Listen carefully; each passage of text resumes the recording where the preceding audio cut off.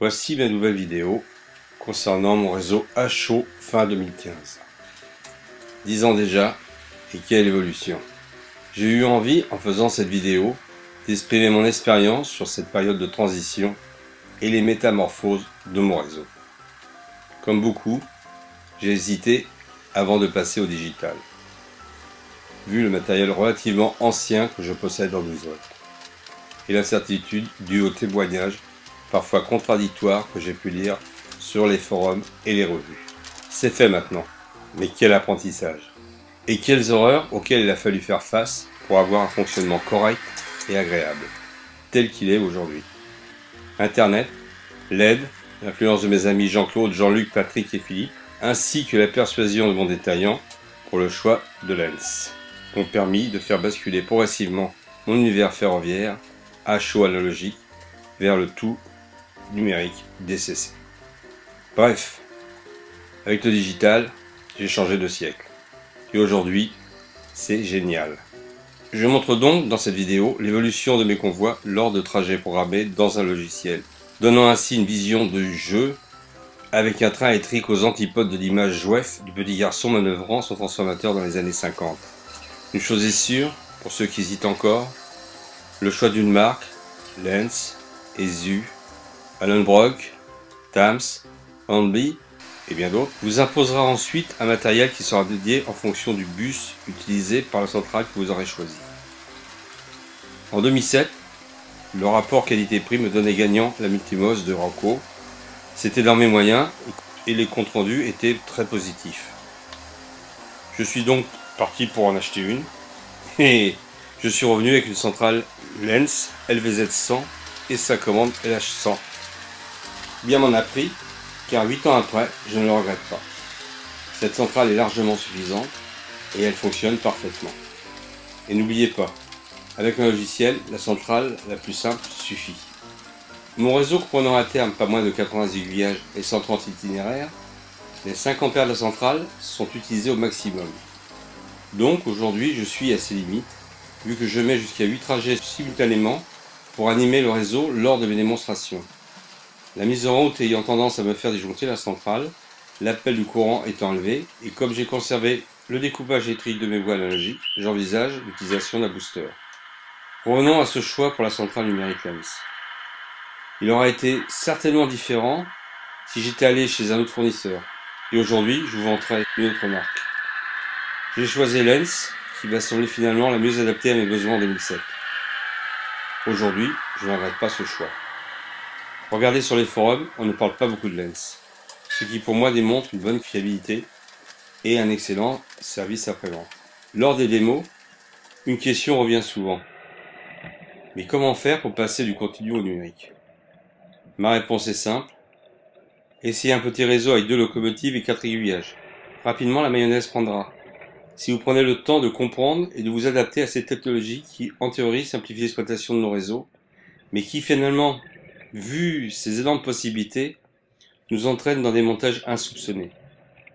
Et ça devient donc du toujours plus. Alors un conseil.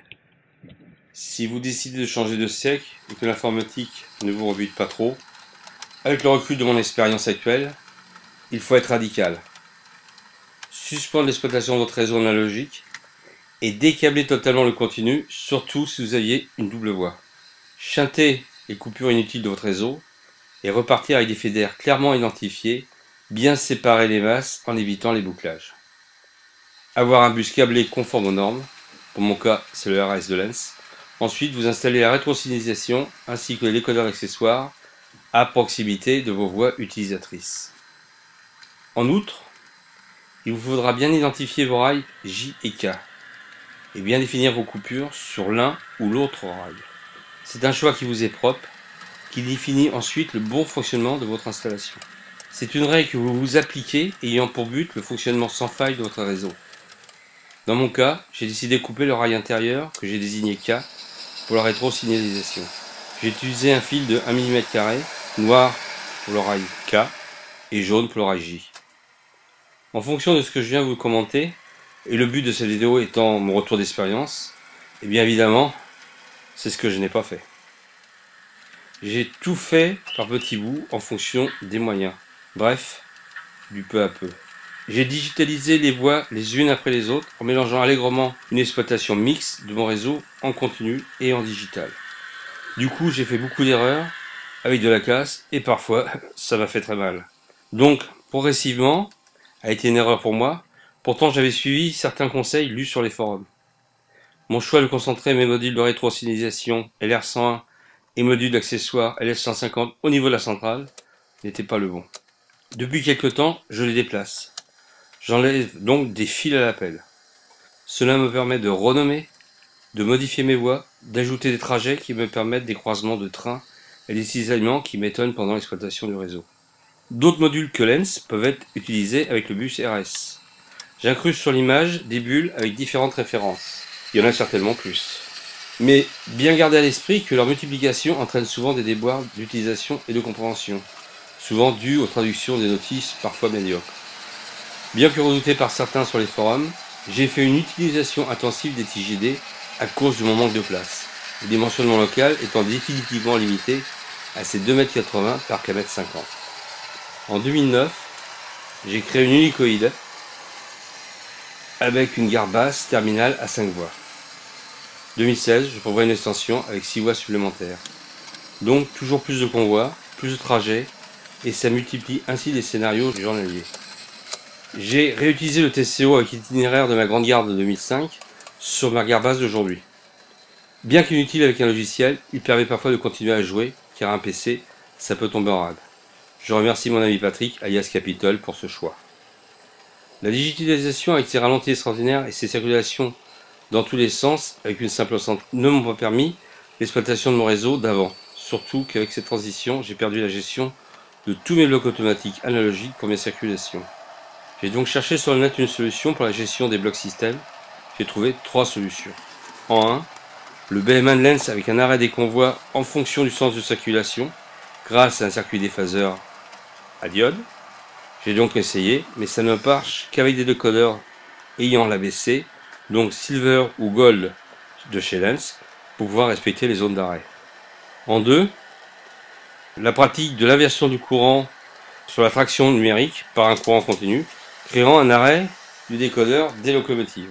Mes essais ont été décevants, avec à chaque fois un cassette impressionnant de relayage et surtout de câblage. En 3, un matériel beaucoup plus onéreux du commerce, d'un ancien de chez Jouef, D'ailleurs, toujours sans démonstration d'efficacité probante à ce jour à mes yeux. Mon constat était qu'avec le numérique, le câblage devait diminuer. Et j'avais tout faux à l'évidence. En aparté, je pense qu'aujourd'hui que le BM1 était une bonne solution pour les petits réseaux avec la déclinaison BM2 et BM3. Dans mon cas, vu la complexité de mon TCO, l'exploitation de mon réseau serait restée pratiquement à l'identique. À part une amélioration des ralentis par rapport à l'analogique, mais en étant obligé d'avoir un câblage très complexe. D'ailleurs, dans une de mes prochaines vidéos, je montrerai l'exploitation d'un petit réseau en N de mon ami Daniel, avec une technique BM1 de Lens, que j'ai enfin pu expérimenter grâce à son expérience très décevante avec un matériel du commerce malgré la grande aide de son inventeur. Reste le logiciel. Eh bien j'en ai utilisé plusieurs avant de trouver enfin le bon. Il m'a fallu l'apprivoiser et surtout comprendre sa logique totone. Un grand merci au passage à Jean Dragon pour sa francisation du logiciel et l'activité et passion des intervenants du Forum français de TC. Je le découvre encore aujourd'hui dans une version qui est dépassée, mais qui m'en convient très bien. Je n'en ai pas certainement encore tiré toutes les ficelles, mais il fonctionne sans bugger.